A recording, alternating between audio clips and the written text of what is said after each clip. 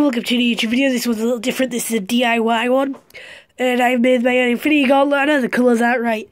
But to make one, you just need a rubber glove and like a couple of gems or stones or whatever you want to use.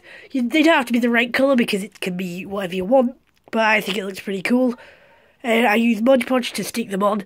And now the end is near.